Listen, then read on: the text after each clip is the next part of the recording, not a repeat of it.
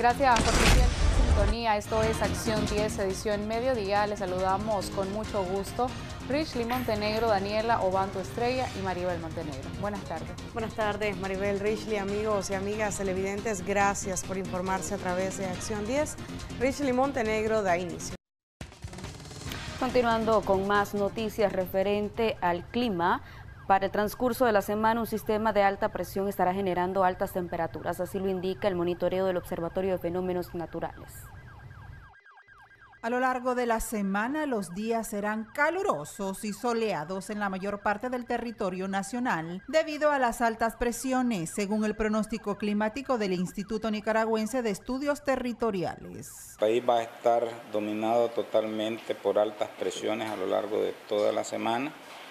Esto significará pues que vamos a tener un predominio soleado en gran parte del territorio nacional exceptuando tal vez las zonas montañosas y eh, la zona costera del litoral caribe nicaragüense, que por sus condiciones topográficas, la una por ser zona muy alta, la otra por ser una zona costera y frente al mar Caribe, Asimismo, el Observatorio de Fenómenos Naturales también indicó que las temperaturas máximas alcanzarán los 30 a 35 grados Celsius en el Pacífico. Al mismo tiempo mantenemos sistemas de anticiclón que están afectando a mayoría del territorio de Centroamérica como también de México y corrientes de bajo nivel también están afectando parte del Golfo de Honduras como también dentro de nuestro territorio. Temperaturas mínimas al amanecer de este martes 22-26, temperaturas máximas 30-35, región central 19-25, máximas máximas de 27-32, Triángulo y Minero 21-24, máximas de 30-32, Caribe de 25-26, máximas de 27-29 grados Celsius. Tengamos muy en cuenta que tendremos golpe de calor bastante fuerte, altas temperaturas. Mientras que las velocidades de viento en el Pacífico alcanzarán los 25 a 69 kilómetros por hora, en la región central 36 a 58 kilómetros y en las regiones del Caribe 28 a 45 kilómetros por hora. El reporte indica las circulación del Frente Frío número 45 por la costa norte de Estados Unidos hacia el Golfo de México. En Acción 10, Geraldine Domínguez. Tres viviendas quedaron reducidas a cenizas luego de un voraz incendio que se registró en horas del mediodía en un barrio del municipio de Diriamba. Tres familias del municipio de Diriamba perdieron absolutamente todo luego de que un voraz incendio arrasara con sus viviendas este lunes, exactamente en la quinta calle del barrio San Francisco. El fuego acabó con todo a su paso dejando a las familias al intemperie. Una de las afectadas es Catherine Ramos, quien habitaba en una de las viviendas junto a su esposo y sus dos hijas menores de edad. Ya estaba, estaba quemando basura. Entonces este ella estaba sentada aquí, como no estaba el humo, se sentó afuera y cuando yo entré, yo miré pues que ya no, que los alambres estaban agarrando fuego, entonces yo le llamé a y le dije, Alba, está agarrando fuego la casa. Y ella comenzó a gritar, pues, a pedir ayuda pero ya no se pudo sacar nada. Otra de las afectadas es Albaluz Gutiérrez. Ella habitaba en la otra vivienda junto a sus dos hijos y al momento del siniestro se encontraba en el patio de su casa. Las casas estaban construidas de zinc y madera, por lo que rápidamente tomaron fuego.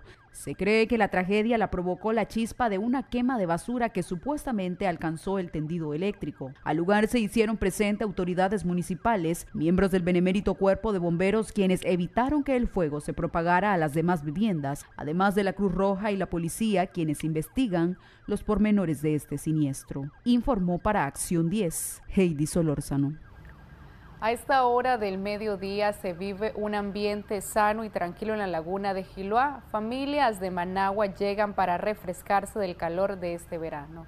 Nos enlazamos en vivo y en directo con nuestro periodista Jimmy Romero, quien se encuentra desde ese lugar. Buenas tardes, te escuchamos.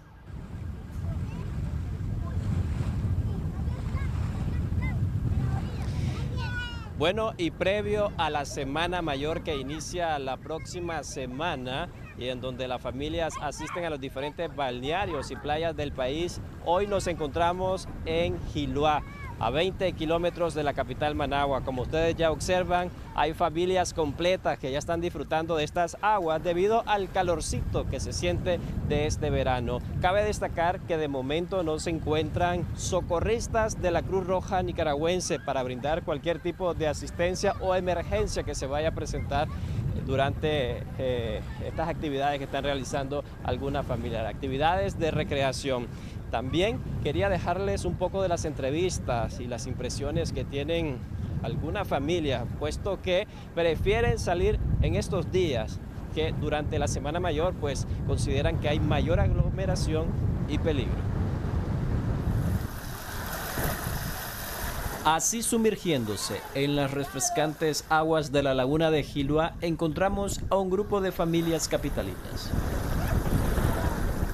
Tanto como refrescarte de este calor. Sí. ¿A dónde, ¿De dónde son ustedes? Del barrio Martorijo. ¿Siempre vienen aquí a disfrutar? Sí. ¿Semana Santa también van a salir? Sí. ¿A dónde tienen planeado? Este, al San Juan del Sur o este, aquí. Aquí en familia, veraneando un poco. ¿Quiénes andan? Anda mi papá, mi mamá y mis hermanos, ahí andan. ¿Deciden salir antes de la Semana Mayor? Sí, Más tranquilo. más tranquilo. Y se llena en Semana Santa bastante. Otros llegaron en pareja para alejarse del ruido de la ciudad y estar en un lugar para vacacionar. A la laguna de Gilua, lo más cerca. ¿Lo más cerca? Sí, sí. Más- ¿Quiénes andan? Estamos los dos. Somos los dos, andamos la pareja. Y venimos a disfrutar siempre.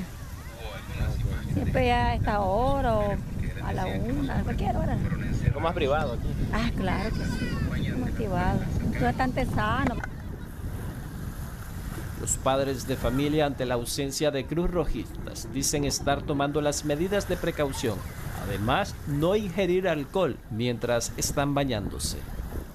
Evitar llegar, al- a llegar hasta lo hondo y así pues llegar con vida a la casa, con bien. ¿Quiénes? Eh, Yo con mi cuñado y mis, mi sobrino y este mi hijo. ¿Qué tipo de precauciones están tomando? ¿Vienen en familia? Bueno, y lo que se hace según pues que no se metan con estado de ebriedad y que siempre cuiden a los niños porque siempre lo dejan solo. Quienes esperan a los turistas con los brazos abiertos son los vendedores ambulantes. Confían que la demanda mejore acercándose la Semana Mayor. regular ha estado. Yo siempre vendo. Tengo la fe que siempre se va a poner bueno la otra semana para vender. Yo siempre vendo. ¿Qué cantidad de turistas esperan? Bastante. Fui el otro año, a pesar de todo, estuvo lleno aquí. Y, y para qué lado, porque esto es el, el- sector de- se llama Bosque de Gilbá.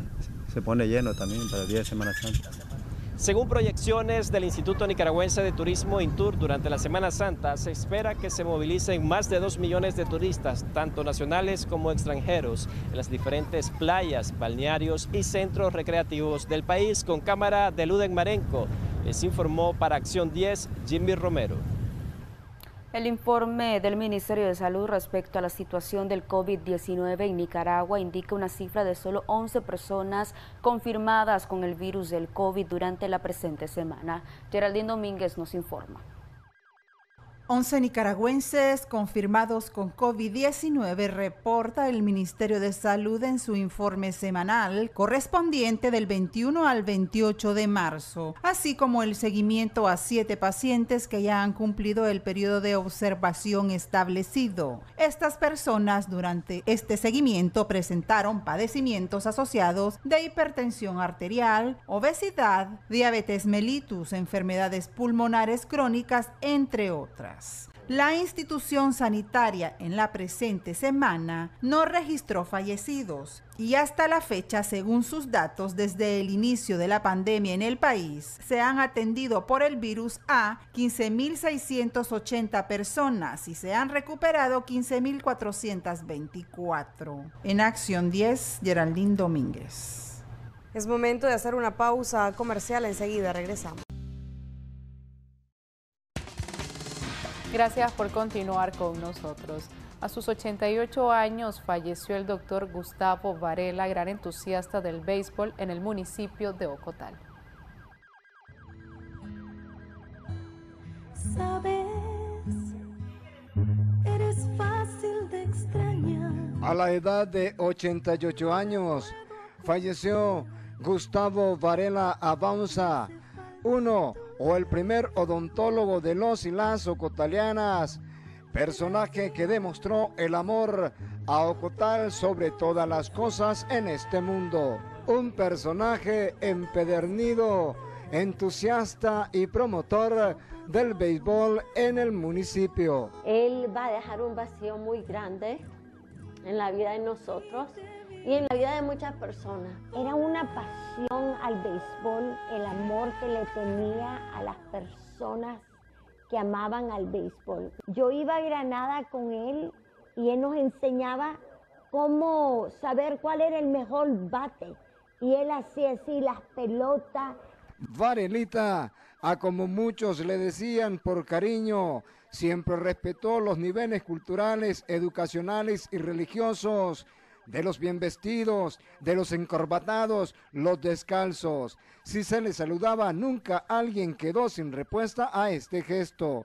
La esquina, la puerta de su casa son testigos de su sencillez y de cuántas tertulias y anécdotas se contaron para que las risotadas fluyeran sin temor. Él es granadino, él era bueno, tranquilo y amable con toda la gente. Recordarlo por todas sus anécdotas y todos sus cuentos y su historia que contaba de, de, de Ocotal y sobre todo de, la, de Nueva York, porque él es el fundador de la Federación de Ocotal. Sus familiares y amigos le despidieron hasta su última morada la tarde de este pasado 27 de marzo. Reconociendo el legado de ese hombre, hizo mucho por el béisbol en Nueva Segovia.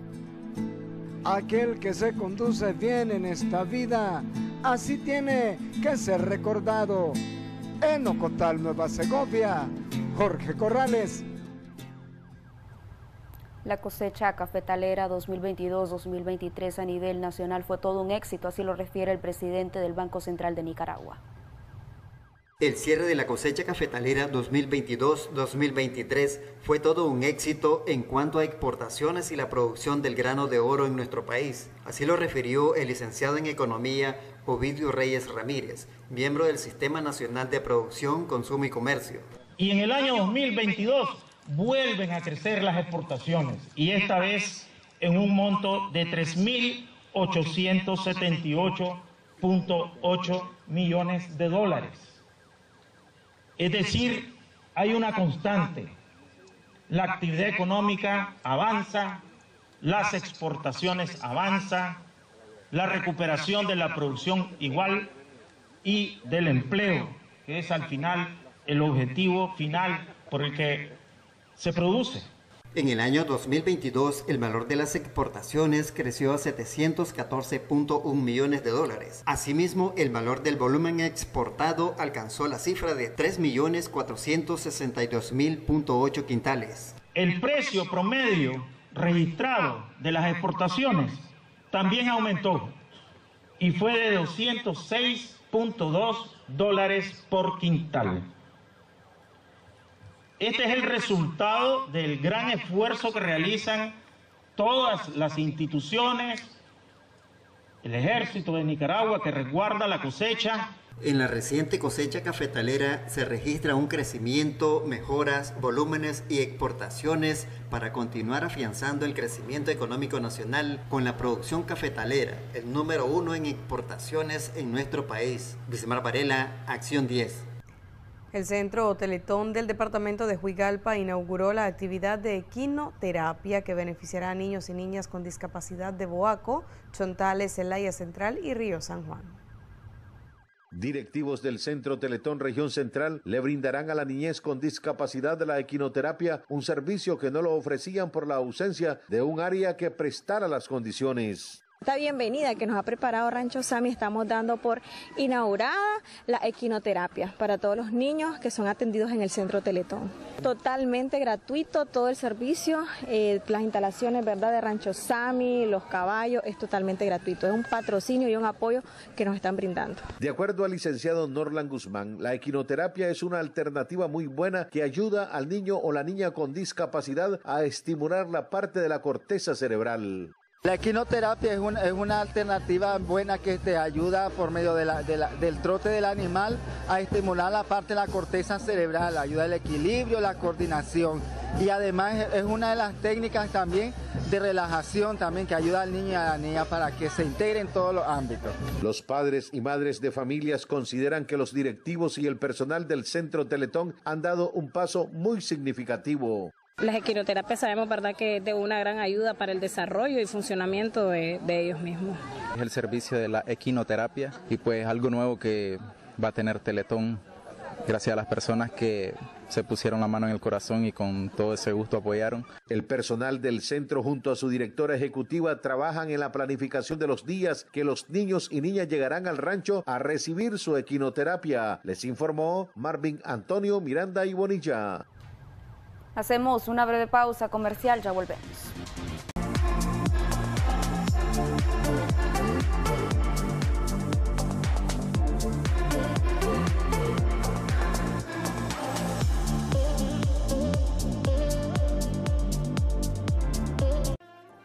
en el próximo capítulo de Perdóname.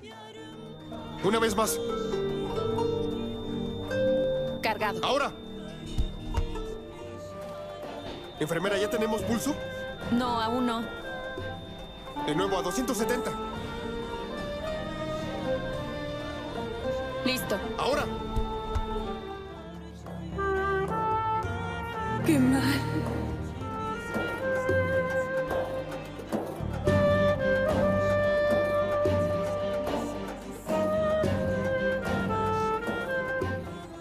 No habíamos estado solos en un largo tiempo.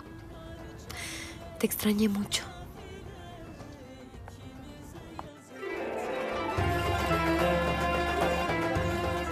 Perdóname, de lunes a viernes a las 6 de la tarde, por Canal 10. Más pasión, más emoción, más que telenovelas.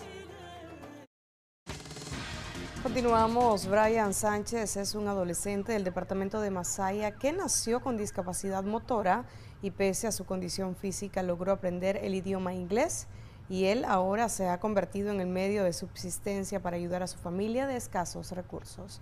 Cristo amplía. Desde pequeño, este andarivel ha sido el fiel acompañante de Brian Sánchez, un jovencito con 17 años de edad quien nació con discapacidades motoras.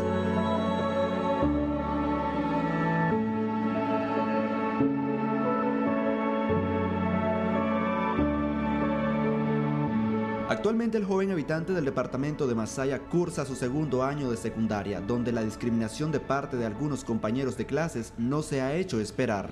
En algún momento pasa, porque por ejemplo sucedía en cuarto, quinto grado, sucedía eso, de que todos mis compañeros salían a jugar y el único que quedaba en el aula de clases era yo, quedaba custodiando la sección o quedaba haciéndome cargo de múltiples tareas que se me encomendaban.